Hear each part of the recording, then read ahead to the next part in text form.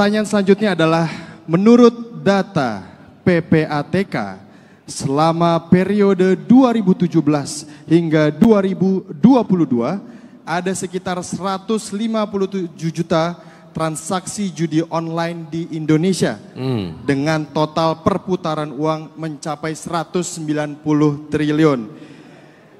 Sedangkan di Medan sangat mudah menemukan orang yang di sekeliling kita sedang bermain judi online.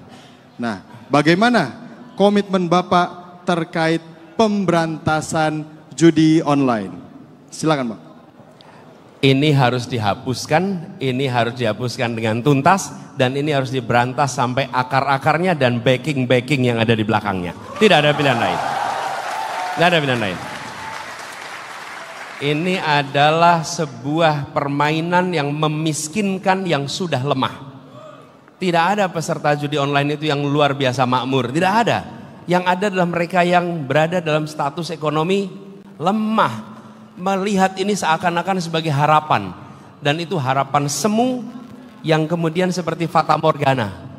Terlihat dari jauh ada, didekati hilang, didekati hilang, dekati hilang. Jadi tidak ada pilihan lain bagi negara untuk dituntaskan. Ini menurut saya begitu. Lalu kami memandang, tapi saya mau tanya sebentar, di sini yang pernah ikut judi online ada nggak? Oh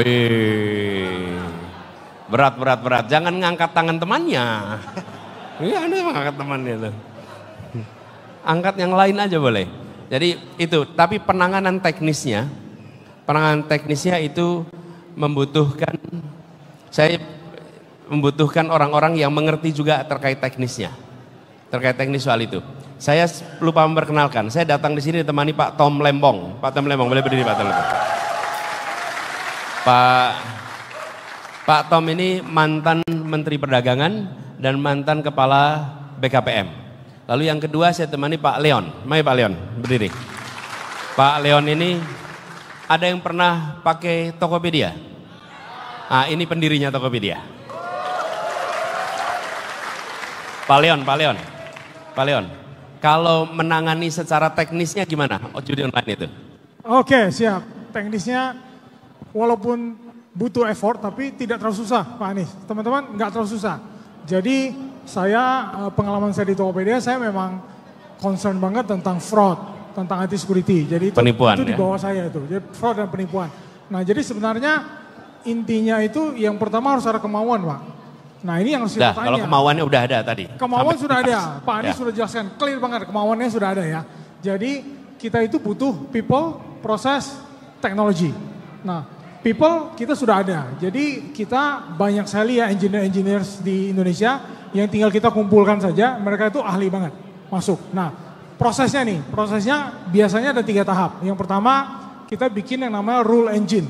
Rule engine itu uh, apa aturan-aturan sebenarnya ini langkah paling simple. Jadi jika aturannya begini, jika memenuhi syarat-syarat begini, kita bisa block. Kita bisa ngobrol dengan ISP, kita bisa block itu semua. Nah yang kedua, rule engine itu sebenarnya paling gampang di bypass. Ya, paling gampang dilewatin. Nah yang kedua itu sekarang zamannya big data, jadi kita bisa kumpulin uh, data, kita kumpulin pattern. Nah kita lakukan pattern recognition, nah itu kita bisa block juga. Itu lebih lebih otomatis caranya. Nah, tapi yang namanya manusia tetap akan kucing-kucingan dengan sistem. Yang ketiga adalah partisipasi masyarakat sebenarnya. Nah, ini kita sudah lakukan. Sebenarnya banyak sekali kanal-kanal laporan, Pak. Dan di dunia teknologi itu ada yang namanya Project Honeypot misalnya.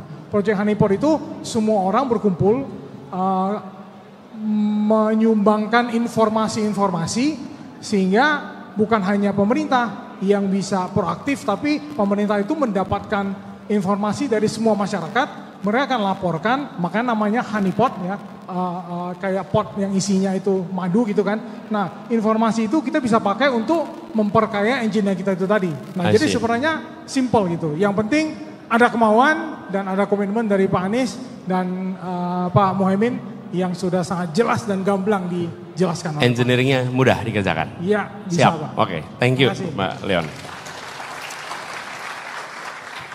Sebetulnya kita selalu yakin, if there is a will, there is a way.